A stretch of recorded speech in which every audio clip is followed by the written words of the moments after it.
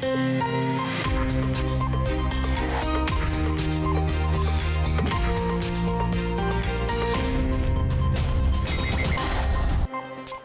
эфире новости в студии Анна Чугунова. Здравствуйте. Говорим о главном к этому часу. Делегация Владимирской области принимает участие в Петербургском экономическом форуме. На нем запланировано заключение нескольких соглашений. Сегодня глава региона Александр Авдеев подписал документ о сотрудничестве со структурами Сбербанка России. Речь идет о совместной работе по реализации проектов цифровизации социальных сервисов для жителей Владимирской области. Кроме того, соглашение подписано с компанией Сбербанк Лизинг. Мы подписали как раз с лизинговой компанией, которая э, задействована в том, чтобы представлять лучшие э, лизинговые э, услуги для тех компаний, которые занимаются переоснащением и технологического оборудования, и транспорта и так далее. Поэтому уверен, что большое количество проектов будет за, задействовано при вот, реализации наших совместных соглашений. Также Александр Авдеев подписал соглашение с РЖД и логистической группой «Адмирал». Целью проекта является привлечение дополнительных объемов грузов, улучшение транспортной доступности, а также создание благоприятных условий для развития промышленного потенциала Владимирской области. Жители микрорайона Мосина областного центра выступили в защиту своего населенного пункта. Люди бастуют против строительства бетонного завода. Сегодня с жителями Мосина встретились глава Суздальского района Алексей Сараев и глава города Владимира Дмитрий Наумов. Вдоль дороги десятки машин. Люди отпросились с работы, чтобы узнать о судьбе их населенного пункта. Жители против строительства завода. Они переехали сюда специально, чтобы жить подальше от городских магистралей и промзоны. Я продала дом, я продала дачу, э, значит, и здесь я уже 4 года. Когда узнали, они в чате писали только одно слово – я в шоке. Все. Я говорю, потому что перечеркнули все. Э, и э, здоровье людей, и их деньги. На участок рядом с Мосино уже завезли стройматериалы. Арендатор Владимирский завод инновационных материалов. Именно эта компания намерена построить предприятие. Ее директор тоже сегодня приехал на встречу с жителями. Сейчас вместе с главами муниципалитетов он должен принять решение, что делать с проектом, в который вложены деньги. Уже затрачены э, серьезные инвестиции в геологу разведку. Э, Голова-то где была? В геодезическую съемку. Соответственно, разработан проект планировки, э, разработан проект санитарно-защитной зоны. Какую оценку действия компании дала областная прокуратура и возможно ли остановить процесс строительства? Подробности смотрите в выпуске, который выйдет в 19 часов. И к другим темам. На озере в Гусь-Хрустальном появятся плавающие светомузыкальные фонтаны. Об этом в своих социальных сетях сообщил глава города Алексей Соколов. Фонтаны планируют установить по специальной программе, когда расходы на работы поровну несут бюджет Владимирской области и жители, либо бизнес муниципалитета. Мэр Гусь Хрустального подчеркнула, что таким образом планируется привлечь внимание к очистке русла реки Гусь и благоустройству городской набережной. Сколько денег потребуется на монтаж фонтанов и когда начнутся работы, Алексей Соколов не уточнил. Безопасна ли вода из водоматов? Этим вопросом задаются владимирцы. Люди стали замечать желтизну и запах хлорки. Проверить качество воды после жалоб жителей выехал независимый эксперт. А вместе с ним и наша съемочная группа. Все подробности прямо сейчас.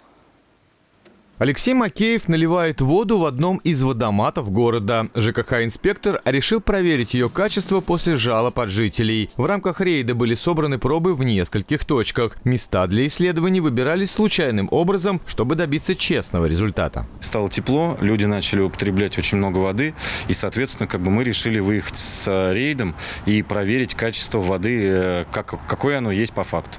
Но основные как бы, вопросы были именно, чтобы рассказали людям о э, законности установки и всего остального, и как проверяется эта вода. Запах хлорки и желтизну стали замечать местные жители. Они недовольны качеством воды из некоторых водоматов и считают, что она может быть небезопасна. Хотелось бы, чтобы в них меняли фильтры, привозили еще более чистую воду, и было все намного лучше.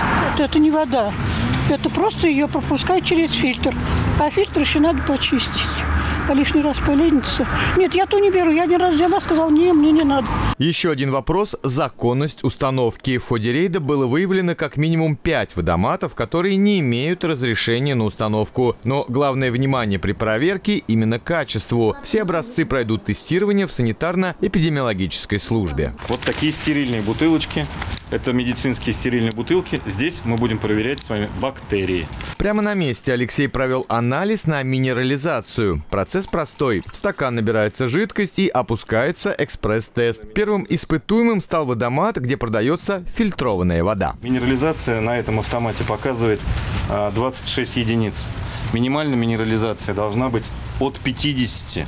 А все, что меньше 50, это мертвая вода. А сюда воду привозят из родников. Быстрая проверка на отлично. Показатели на приборе достигли 200 единиц. Водитель-заправщик водомата наблюдал за процессом. Мужчина уверяет, за 8 лет, пока он развозит воду, ни разу не усомнился в ее качестве. Некоторые думают, что здесь вообще ничего не моется, как раньше в классных ларьках. То, что лягушки плавают. А у нас как бы мы каждые три дня емкость промываем. Ларьки каждый месяц у нас обязательно моются. И воду на анализ сдаем с ларьков. Полученные пробы отвезли в санитарно-эпидемиологическую службу. Для независимости эксперимента образцы закодировали, поэтому лаборанты не узнают, откуда они. Результаты проверки огласят на следующей неделе. Если отклонение от нормы будет выявлено, то исследования передадут в Роспотребнадзор, где примут дальнейшее решение. Алексей Дудин, Марина Елькина, Роман Степанов. Сегодня свой профессиональный праздник отмечает Государственная инспекция по маломерным судам МЧС России. В Владимирской области безопасность на воде обеспечивают 24 инспектора. Они ре регистрируют и проводят осмотр судов, принимают экзамены по управлению, а также контролируют пляжи, переправы и другие места отдыха людей. Нередко инспекторам приходится проводить задержание нарушителей на воде. Одну из таких ситуаций сегодня продемонстрировали на Содышке совместно с водолазной, с водолазной службой э, специализированной пожарной части мы осуществляли тренировку по э, спасанию терпящих э, бедствий человека, э, по задержанию нарушителя. Совместно ее провели. Они свою работу провели, мы провели свою работу. И взаимодействие, э, для того, чтобы оно осуществлялось нормально, периодически нужно тренироваться. По легенде, при патрулировании при патрулировании инспекторы выявили, что водитель гидроцикла превысил скорость, а его пассажир был без спасательного жилета и оказался в воде.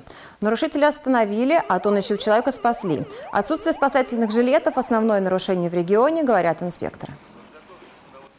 Вода – это тоже повышенная опасность, и всегда ну, должно быть следить за этим, чтобы Самое главное – это безопасность людей на водных объектах. Каждый день, когда мы э, патрулируем или работаем, ну, если к нам обращаются люди, по мере возможности мы оказываем помощь. А накануне во Владимире на станции переливания крови отметили Всемирный день донора. Активисты проекта «Протяни руку жизни» устроили праздник медикам и всем, кто пришел на донацию. Ведь признание заслуживают не только доноры со стажем или врачи, но даже те, кто впервые в жизни сдает кровь. Все подробности в нашем материале. В день донора на станции переливания крови традиционно особые гости. Сюда приходят не только неравнодушные жители города, но и представители власти. Заместителю председателя областного парламента Роману Кавинову быть донором не впервые. Дебют состоялся еще в студенчестве. После долгого перерыва несколько лет назад он возобновил донорскую практику. И это очень здорово. То есть у меня где-то есть кровный брат, ну, который вот, ну, живет сейчас, возможно, благодаря моей крови. Это очень ярко, эмоционально было. И я вот весь там в эйфории дня два, наверное, в легкой такой ходил. Вот не только от того, что сдал кровь, а именно вот от, этого, от осознания этого момента. Это дорого стоит на самом деле. И я искренне желаю, чтобы каждый донор раз в жизни хотя бы такое прочувствовал. Международный день донора общественники решили устроить настоящий праздник для всех причастных. Поздравить не только заслуженных доноров, а поблагодарить каждого, кто в этот день пришел на станцию переливания крови. Стать донором можно, совершив любое доброе дело, говорят организаторы. Допустим, вы перевели бабушку через дорогу, и в этот момент вы стали донором, потому что вы ей подарили свое время, вы ей подарили частичку своей доброты.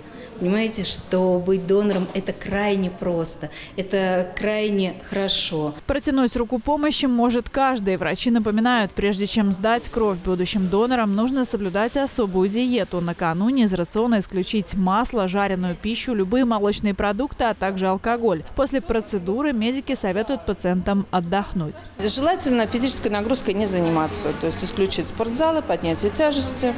А так все как обычно. Кому-то, если первый раз, то лучше, конечно, отдохнуть. Полежать, э, на работу не ходить, потому что день дается, ну, не зря. То есть он дается отдохнуть. В конце праздника волонтеры проекта подарили всем пришедшим подарки. Аня Зорина убеждена, сдавать кровь нужно точно не из-за денег. Это должно идти от сердца. Нужно людям помогать, делать это не за деньги, а просто потому, что ты хочешь помочь. Для популяризации донорства организаторы проекта «Протяни руку жизни» проводят лекции. За последний год их прослушали уже более двух тысяч школьников и 800 студентов Владимира и области. Донором можно стать с 18 лет. На сегодняшний день неравнодушных жителей области около 8 тысяч человек.